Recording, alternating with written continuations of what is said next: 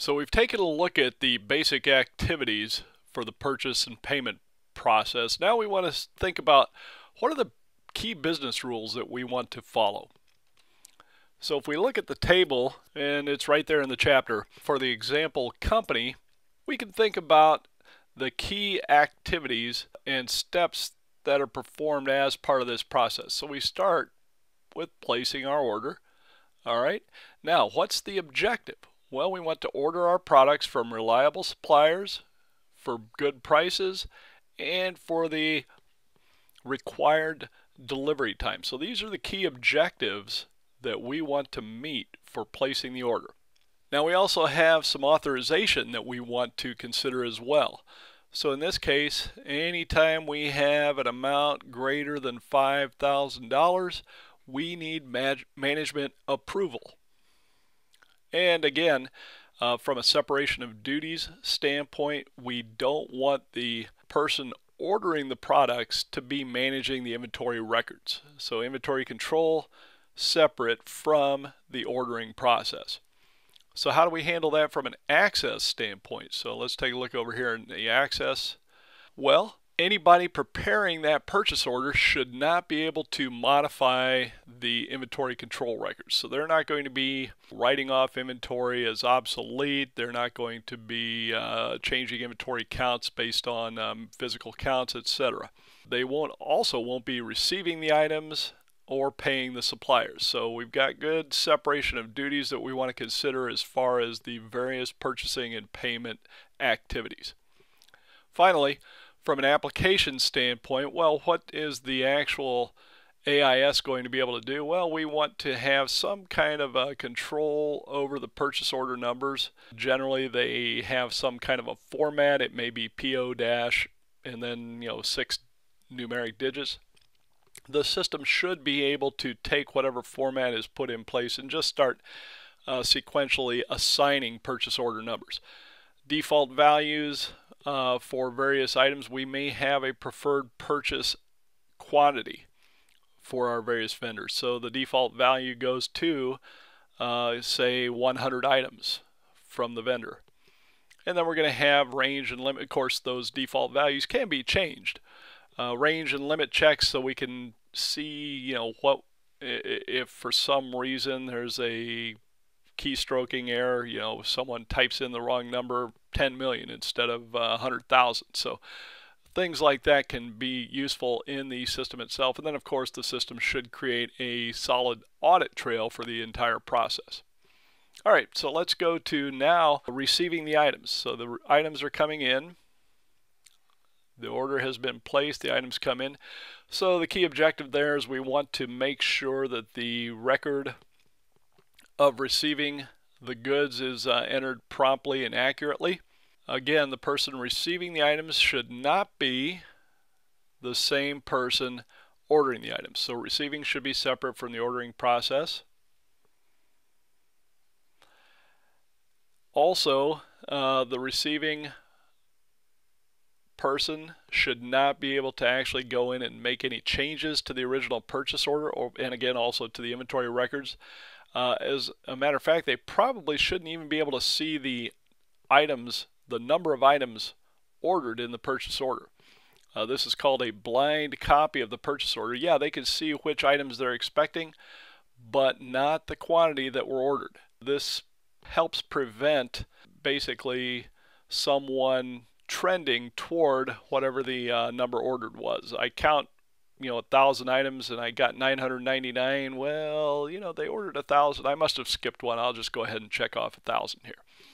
So the count should be completely free of bias. And then application controls well you want the system to only allow the receiving partner to enter the number of items received. Uh, again we'll have range and limit checks on those quantities. Uh, and we also want to make sure that the date defaults to the current date uh, for this type of activities. Uh, you want to receive uh, and record that promptly, so we uh, expect that every good received was received on the current date. And this helps prevent the possibility of backdating or entering the wrong date by mistake. Now, it's time to assess the items. Basically, we're going to put the items through their quality assurance check, the QA check. So now we're going to see uh, are any of the items that came in not of the quality that we expect. So we want to reject the defects and then record those items that we've accepted. Now, here we have uh, the same type of authorization. We want the person assessing. Should can't be the same. Well, I guess I didn't really type that in very well. But basically, you want the person assessing the items to be different than the ones ordering the items. Can't be same. So we'll just scratch out should. Assessor of the items can't be the same as the person who ordered the items. And again, here we've got the assessor. We don't want them to be able to modify the purchase orders or the inventory records. And from an application control standpoint, we only want to allow the person making the assessment to have access to that part of the receiving application. And again, the date's going to default to the current date to help prevent erroneous data entry. So we're halfway through. Let's take a look at the next step. We're going to now, we've assessed our items and taken those that are in good shape, pass them along. Now we can place them in inventory. So here we want to make sure we put everything in the proper location. So most companies and most warehouses have different locations that have been assigned to different uh, items or different goods.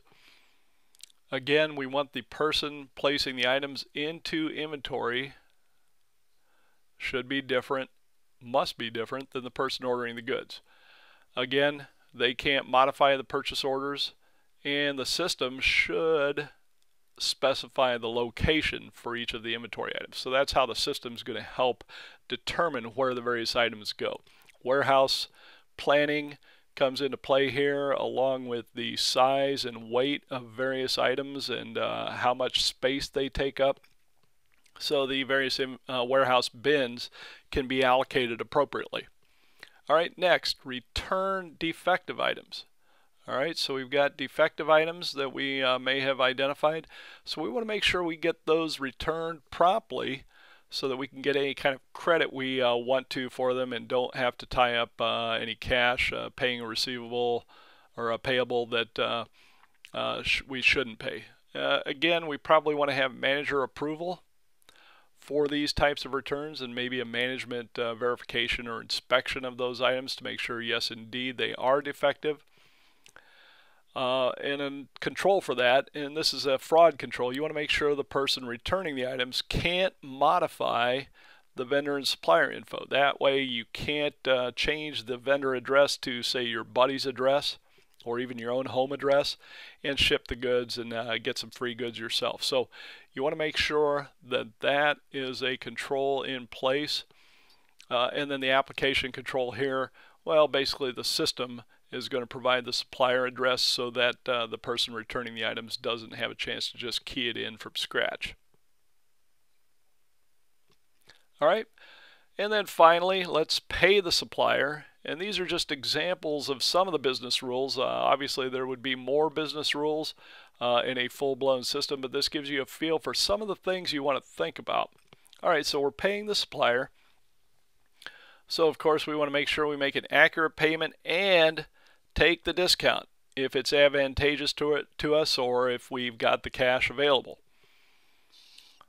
And again, just from a separation of duty standpoint, whoever makes the payment must not be the person who ordered, received, or accepted the items. Also, the person making the payment can't modify purchase orders, the receipt records, or the acceptance records. So we're making sure that each person along the way has access to their little piece of the activity and their portion of the audit trail, but they're not going to be able to go back and change other pieces of the audit trail. And same thing, the system should, from an application control standpoint, be able to supply the vendor payment info, the amount of where the payment's sent, the amount of the payment, and again, the date will default to the current date so we don't have the possibility for miskeying or future dating or backdating.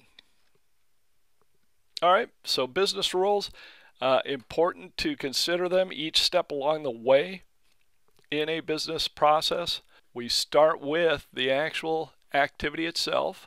You know, what are the various activities in the process?